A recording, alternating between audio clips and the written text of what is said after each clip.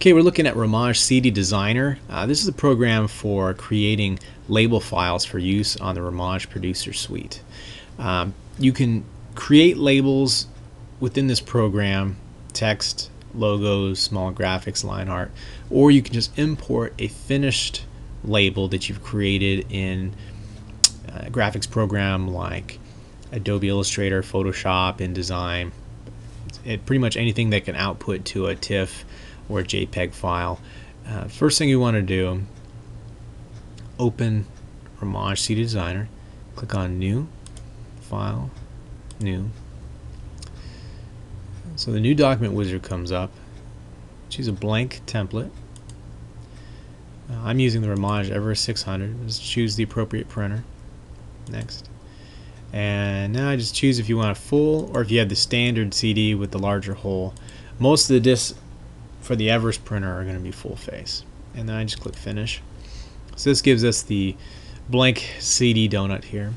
So the tools that we have for creating a label um, right here in CD Designer, we have text, uh, lines, shapes, and pictures. We also have barcodes if you want to add a barcode. It's actually kind of nice. It has the different um, types of codes you can use and uh, you can do human readable, not human readable, but it's nice to be able to just quickly add barcodes that can be scanned and give you a little bit more professional look and functionality if you need it. We'll start with the text.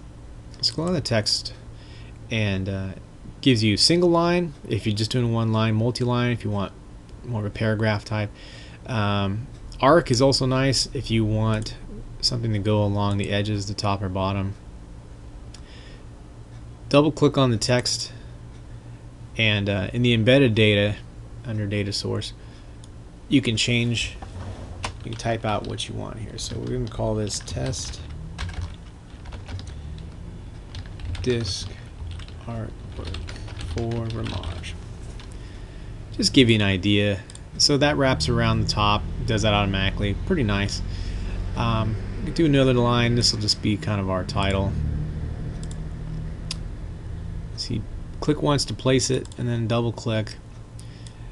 And I'll call this uh, Rimage test. And you can come up here and you know italicize bold make it larger.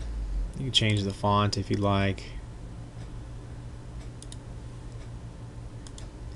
On the right side here there is a horizontal and vertical line comes in really handy just being able to get everything centered just right. I'll do another line of text. This one I'm just going to do small. I'll just put it on the side here. Oops. Call this version 1.0.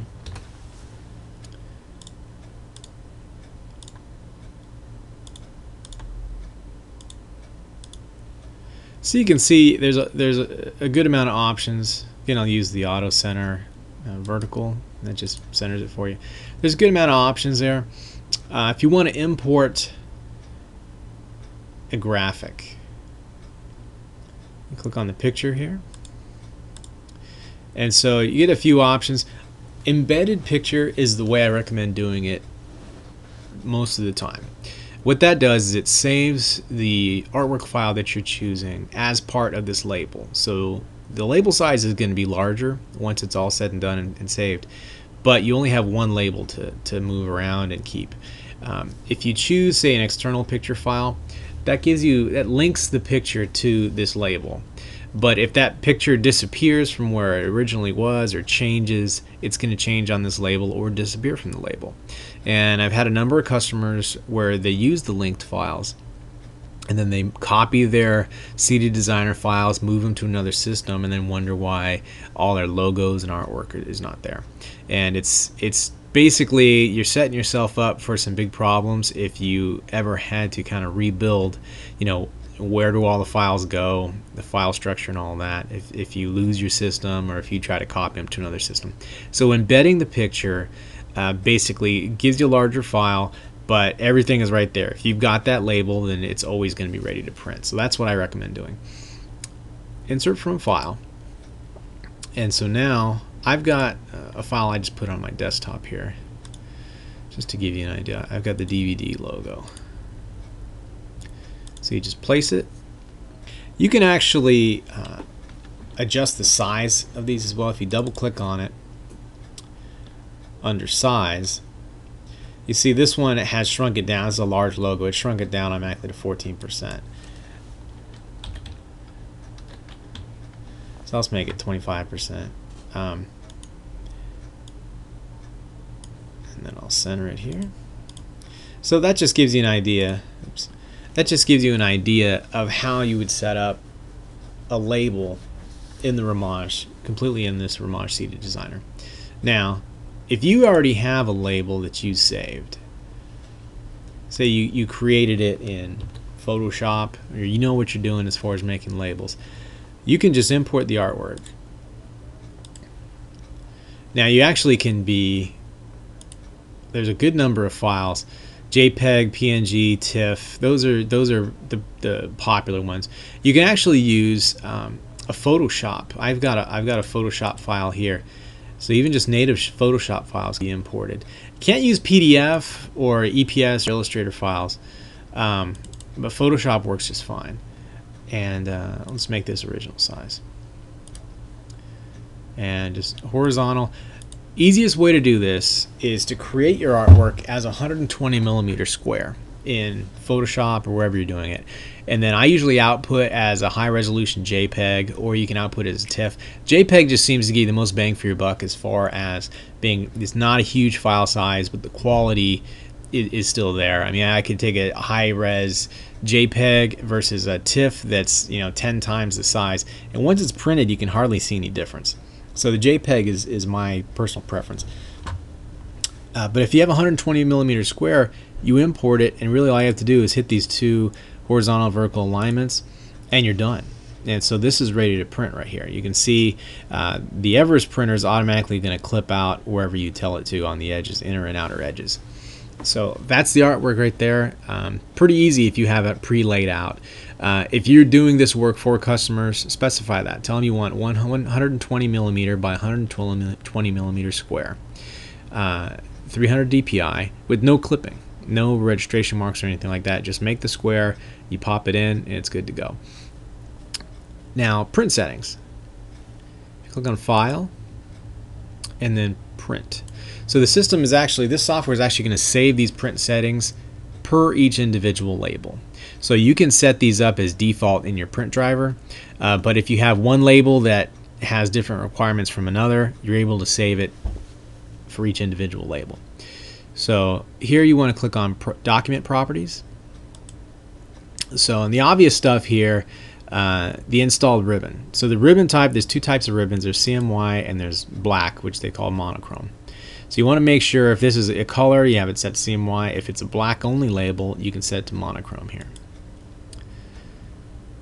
Under advanced, so this is where uh, most of the standard stuff, quality is photo, color matching set to CMYK. That's for the most people, they're going to be happy with just that.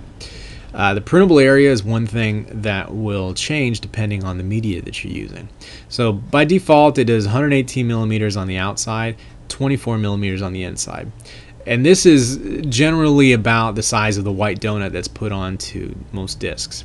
So if you have a little bit of white edge on the inner or, outer edges, uh, that just means you need to extend that out a little bit. The way you do that is click modify. And now you can bring the outer diameter out as far as 120 if you want. I usually wouldn't go much more than 119 and basically what's happening here is it's going to attempt to print on the outer edge of the disc. And sometimes that's just clear plastic. So it may adhere it may not adhere to that clear plastic. But if you go too far out you get kind of a weird look where it's some color sometimes there's not color on the clear. It just doesn't look as professional uh, same on the inside, 23, 22 millimeters. You're basically giving yourself like a bleed edge. Um, but the way the printer works is sometimes it will stick, sometimes it won't to the to the clear plastic that you're bleeding over onto. Uh, what I've found most ideal, we use uh, a lot of Spinx brand and uh, Taiyo Yuden or JVC brand discs. And uh, you can do a more fine adjustment rather than going by millimeters, I go by fractions of a millimeter.